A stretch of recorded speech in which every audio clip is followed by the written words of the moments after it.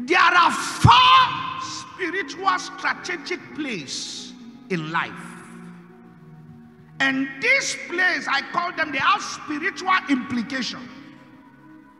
And when you see these four plays, if you are a deliverance minister, you must take cognizance of these four places.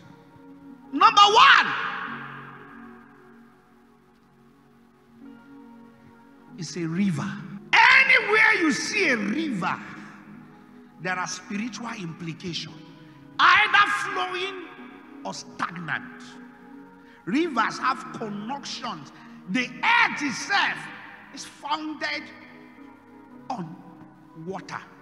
In fact, God had to have some water to go for the dry land to appear. So the earth itself, the Spirit of God in Genesis was moving upon the water. So the whole earth was covered by water. So you must understand river have implication. That is why anytime Jesus want to experience speed to redeem, the Bible says he had to cross to the other side. He had to cross to the other side. In fact, in one of the in one of the in one of the journey where he was crossing to go to the other side, there was a boisterous storm. And where was he going to? He was going to save a man that was on the mountain living in the midst of tomb. Second spiritual strategic place is mountains. You will always see Jesus on the mountain praying on the Mount of Transfiguration, receiving instructions from elders of old.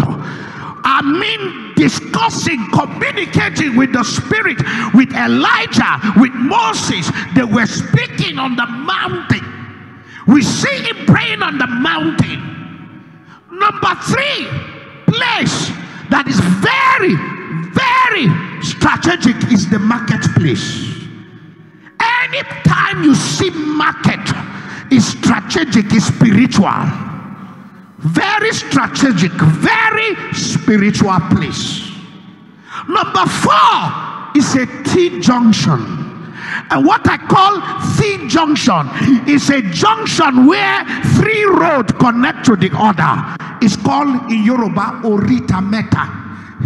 Uh, these four strategic places have instructions. So when we talk about T junction, a road is coming from here, a road is coming from here, and a road is coming from here. So they are strategic.